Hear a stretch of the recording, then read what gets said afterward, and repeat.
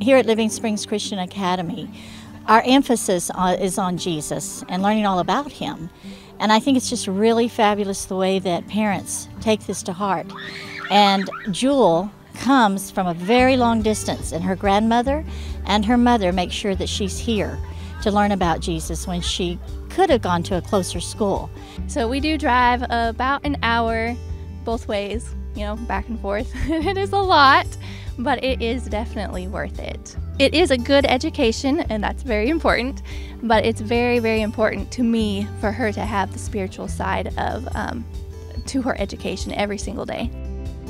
When everything is working together, it gives the child security.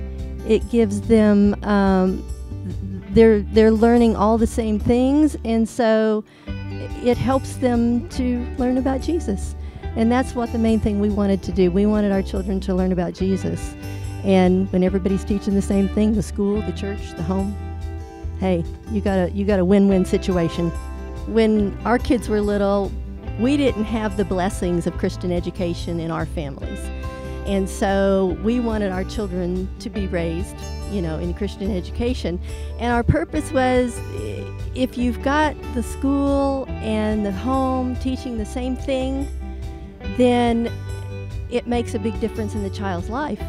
And at least we felt it would. And with our children, it did. Both of our children love the Lord, and we praise the Lord for that. And now our little grandchild, when when we had the opportunity and this school here in Living Springs, we had the opportunity to get her here, even though it is a very long drive, and especially in the winter time, we kind of look at the roads and say, "Ooh, what are we doing?" I'm very happy to be able to help my daughter get my grandchild to school, even though it is, you know, I think it's 45 minutes from my house. It's an hour from her house. It's worth it to have our grandchild grow up in, you know, in a good environment.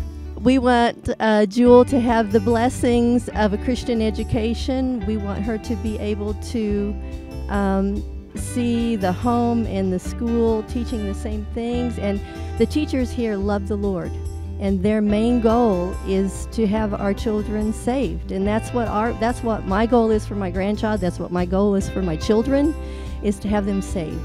I love the dedication of parents knowing that when Jesus does come, the mind will learn all kinds of things, even though that's important here on this earth. But Jesus is the number one thing when we talk about Christian education here.